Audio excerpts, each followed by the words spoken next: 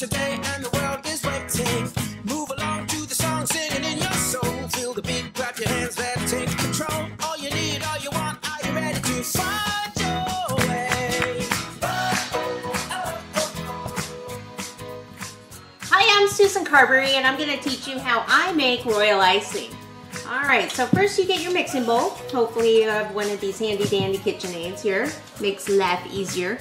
And then you're going to need meringue powder. You're going to need uh, two pounds of powdered sugar, um, some plastic wrap, a container to put it in, and you want everything to be grease free because grease actually breaks down royal icing. Okay, so first I've got my powdered sugar in the bowl. Go ahead and pop it on here. The blade on. Okay, and you can even, I'll wait to move that up. All right, then I've got my meringue powder. So you just get your favorite brand of meringue powder here. And I have six tablespoons already measured out here. Just gonna pop that in. Okay, and then I will lift this up and I actually like to start to mix it slowly. Sit slowly. And then I'll start to add some water. So I use approximately a half a cup of water, okay? Just room temperature. And I say approximately because it kind of depends. I like to make my royal icing stiff because you can always thin it down later to do, um, you know, flood work and things like that on your royal icing cookies. Sometimes, um, depending on, you, you know, the weather and things like that, it might just slightly differ how much water you use. But it's always going to be around a half a cup. Sometimes a little less, sometimes a little more. So we're just going to mix little at a time.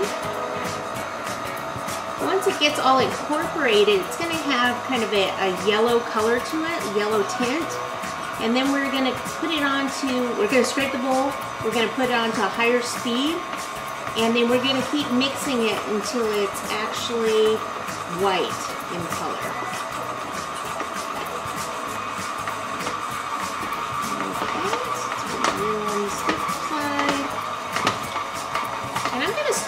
Right now and I'm gonna show you what it looks like before I mix it, put it on high speed, just so you can kind of get an idea.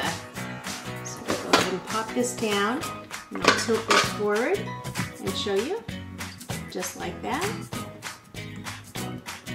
Okay, and then I'm gonna pop it back on. Okay, so I, I don't usually stop it, I was just doing that for your benefit.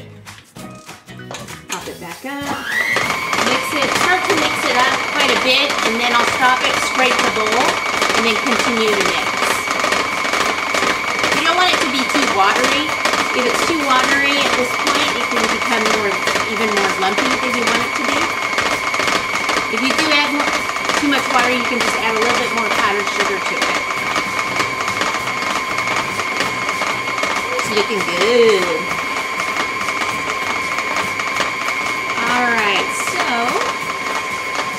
I'm gonna stop it, show it to you again, and then scrape it down.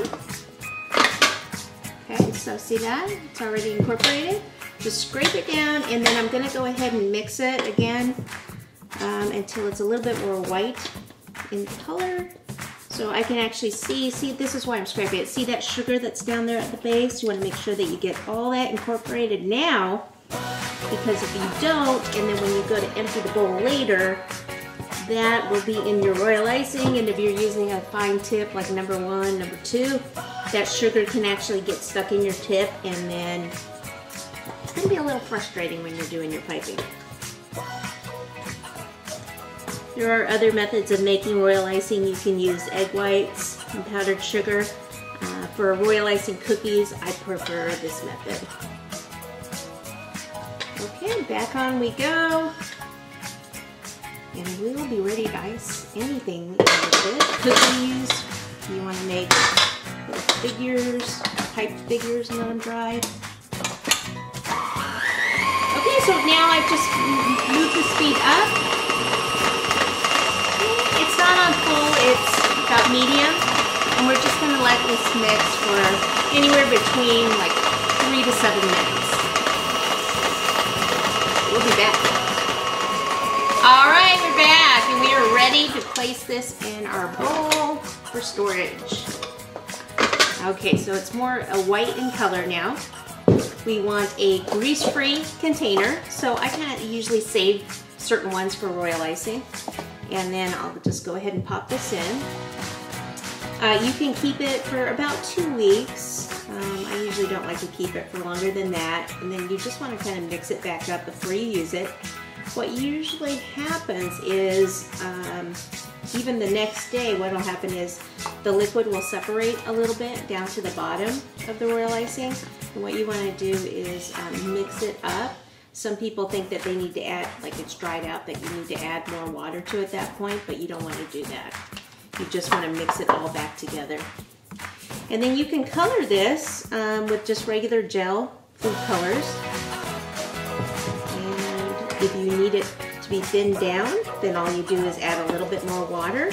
But you want it to look like this. You want it to have more of a matte finish. If, if it looks shiny at this point, then you either haven't mixed it enough or there might have been grease or something um, inside your bowl or on your paddle. Okay, so if it's still, if it is shiny, then I would just go ahead and mix it up a little bit more, a little longer. Um, if it's still shiny, then you could add a little bit more of the powdered sugar to it. All right, now for storage, once I get it all in here, you want to make sure that you keep it covered because royal icing. That means that royal icing, it gets dry. When it gets dry, it gets hard. Okay, and you don't want that. So what I'll do is place, get everything there in the bowl, use a paper towel and just kind of wipe that edge because any of this, the air is going to hit, is going to dry. There we go. And then I like to take some plastic wrap and I place it right over the top and I make sure that I get into all those little nooks and crannies there. And I'll even leave this coming over the edge like that. And that's just gonna help it seal a little bit more. Go ahead and put the lid on. Get any air out like that. And then you just wanna store this at room temperature. Okay, you never put it in the refrigerator. Even after you've iced with uh, royal icing, you never put it in the refrigerator because it actually melts it. All right, so that's how easy it is to make royal icing. We'll catch you next time.